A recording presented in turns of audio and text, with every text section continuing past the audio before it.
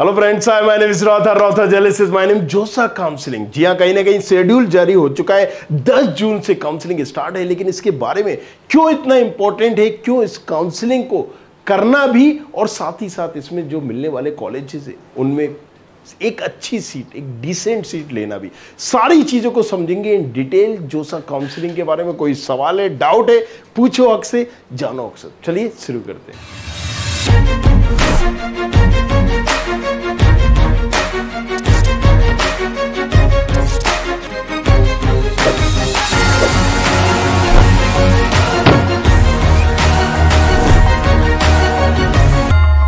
देखो जोसा काउंसलिंग की अगर हम बात करें तो ये क्यों इतना इंपॉर्टेंट हो जाता है? आपको सीधी सी बात समझना है कि जे ई मेन्स हमने दिया है। क्यों दिया है भाई?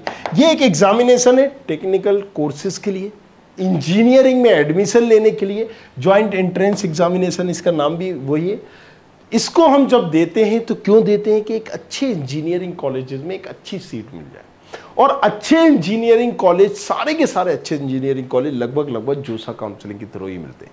वो भले ही आई हो एन हो ट्रिपल आई हो या जी हो। जी तो इतने अच्छे नहीं है बच्चे इन तीन कॉलेजेस के लिए बच्चे कहीं ना कहीं एफर्ट दे रहे होते हैं और इसी के लिए जेई मेंस की तैयारी करते हैं। अब भाई साहब, जेई मेंस आपने दे दिया, इसमें जितने भी लोग देते हैं, लगभग लगभग 20 परसेंट वाले लोगों को एक जेई एडवांस के लिए क्वालिफाई होते हैं राइट उन जेई एडवांस वाले में जो भी क्वालिफाई कर लेता है, उसको आईआईटी में एडमिशन मिलने का एक ऑप्शन शो हो रहा होता है या वो एलिजिबल हो जाते हैं उसके लिए।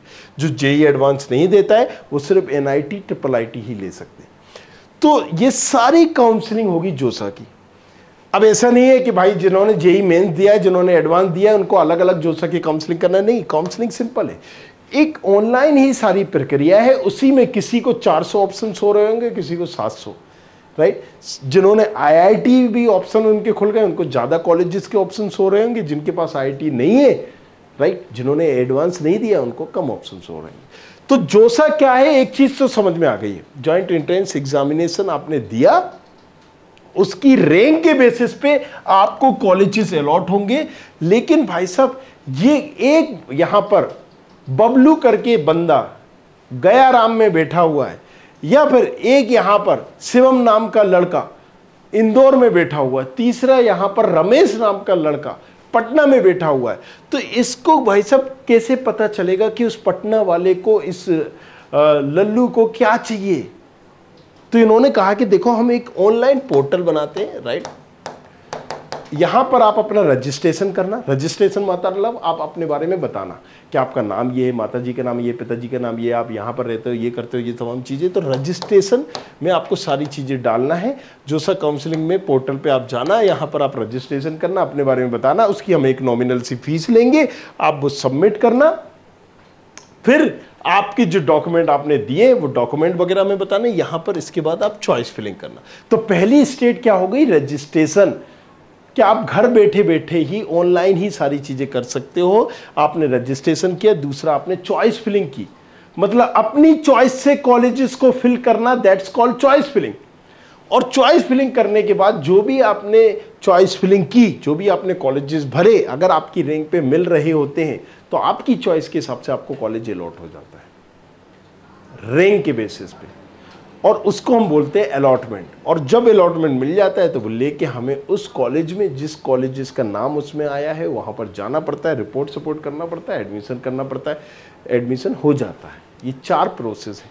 राइट तो जोसा काउंसलिंग में एक शेड्यूल जारी हुआ है। अगर हम लोगों ने ये देखा है नहीं देखा है, जैसे कि 10 जून से क्लियरली इन्होंने दे रखा है कि मंडे को 10 जून से आप रजिस्ट्रेशन कर सकते हैं।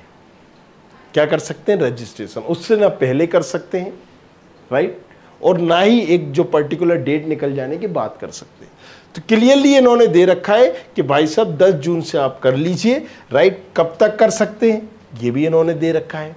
कि भाई साहब 10 जून से 14 जून के बीच में आप अपना रजिस्ट्रेशन करिए। 10, 11, 12, 13, 14 पाँच दिन दे दिए आपको रजिस्ट्रेशन करिए और इसी दौरान आपको चॉइस फिलिंग करना है। मतलब अपने कॉलेजेस में कौन सा कॉलेज पहले चाहिए कौन सा बाद में चाहिए? अगर मान लीजिए मेनेट भोपाल चाहिए एनआईटी भोपाल। एनआईटी भोपाल के पहले नंबर पर हमने कंप्यूटर साइंस डाली हो सकता है दूसरे पर ईसी डाल दी तीसरे पे मैकेनिकल डाल दी चौथे पर सिविल डाल दी। तो एक ही कॉलेज के चार भी डाल सकते हैं या अलग अलग कॉलेजेस के चार भी डाल सकते हैं। राइट तो इसको हम बोलते हैं चॉइस फिलिंग एक तारीख से लेके चौदह तारीख के बीच में आपको क्या करना है? रजिस्ट्रेशन और चॉइस फिलिंग करना है। पंद्रह तारीख को जो आपने चॉइस फिलिंग की है, उसके आधार पर वो एक हल्का सा आपको आइडिया दे देगा, देखो आपकी रैंक के हिसाब से आपको ये मिल रहा है। क्या मिल रहा है? ये मिल रहा है। वहाँ पर एक इंडिकेट कर देगा, जो भी आपने भरे। और अगर नहीं मिल रहे तो वो बता देगा, भैया, कुछ नहीं मिल रहा, आओ आओ, भरो जल्दी से, या ऊपर नीचे करो। अब आप मॉक सीट अलॉटमेंट का मतलब एक आइडिया दे देता है। फिर आप चाहो तो इसको एडिट कर सकते हो, आगे पीछे, ऊपर नीचे कर सकते हो, फिर से दूसरा अलॉटमेंट दे देता है। फिर आप उसको आगे पीछे कर सकते हो। फिर एक पर्टिकुलर डेट के बाद 18 तारीख को 5 बजे अगर आपने नहीं भी किया तो ऑटोमेटिक लॉक हो जाएगा, जैसा आपने भरा है। और उसी चॉइस फिलिंग के बेसिस पे अब अगले पाँच राउंड तक होते रहेंगे। देखो, पहले सात होते थे, फिर छह हुए, अब इस साल पाँच ही हो रहे हैं। पाँच राउंड तक रिज़ल्ट आता रहेगा। अब चॉइस फिलिंग आप दोबारा नहीं कर पाओगे, इसलिए choice filling is very important role और इसीलिए हमने काउंसलिंग की प्रोसेस के लिए, बच्चों की हेल्प के लिए, यहाँ पर एक, कहीं ना कहीं तीन चार दिन का सेशन करेंगे, जिसमें चॉइस फिलिंग भर के आपको भेज देंगे राइट आपकी प्रोफ़ाइल के अकॉर्डिंग कि जो भी आपकी प्रोफ़ाइल होगी, किसी की अलग रैंक होती है, किसी की अलग कैटेगरी होती है, उस कैटेगरी उस रैंक के अकॉर्डिंग बच्चे की प्रोफ़ाइल बना के भेजेंगे। नीचे डिस्क्रिप्शन पर होगा। आप प्रोफ़ाइल एनालिसिस फॉर्म भी भर सकते हैं और वहाँ पर नीचे प्रिडिक्टर में भी फ्री कर दिया बिल्कुल। प्रिडिक्टर भी फ्री है। आप अपनी रैंक डाल के पता कर सकते हैं कि मुझे कौन सा कॉलेज कौन सी ब्रांच मिल रही है, मिल रही है या नहीं मिल रही है। बिल्कुल फ्री और उसके अकॉर्डिंग चॉइस फिलिंग आप हमसे करवा सकते हैं, हमारी हेल्प ले सकते हैं। टीम से पूछ सकते हैं। राइट तो ये सारी चीज़ें हमने बताई। यहाँ पर आपको एक चीज़ क्लियर हो गया कि हमें कब से कब तक करना है और इसके बाद रिज़ल्ट आते जाना है। तो रिज़ल्ट में जो पाँचों राउंड होंगे, उसमें हम दोबारा चॉइस फिलिंग नहीं कर पाएँगे। चॉइस फिलिंग एक ही बार कर रहे हैं। लेकिन उस एक बार की चॉइस फिलिंग में हमें स्टडी करना है। नहीं पता है तो एक डेडिकेटेड काउंसलर लीजिए।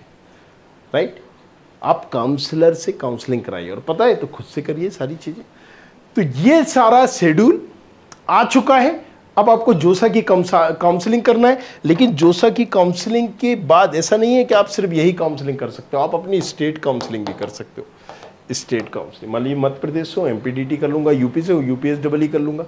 उस स्टेट के जितने भी गवर्नमेंट प्राइवेट कॉलेज है मैं, उसको भी ऑप्शन में लेके चलता हूँ, और यहाँ पर जोसा की काउंसलिंग भी करता हूँ। आप जो नो कर सकते हो, आपके पास हक है ये राइट दिया गया है राइट इसके अलावा हम अलग अलग यूनिवर्सिटीज लेवल भी एग्जामिनेशन दिया है तो हम वो भी काउंसलिंग कर सकते हैं। कुछ यूनिवर्सिटीज डायरेक्टली जेई मेन के स्कोर को ही एक्सेप्ट करती हैं। जैसे बिट सेट है, किसी ने बिट सेट दे रखा है तो यहाँ पर बिट्स का एग्ज़ाम दो बिट सेट की काउंसलिंग करो, किसी ने नहीं दे रखा है, जेई मेन्स के बेसिस पे, भाई एच ले लो हारकोट बल्टा ट्रिपल एम ले लो बहुत सारे कॉलेजेस लंबी चौड़ी लिस्ट है।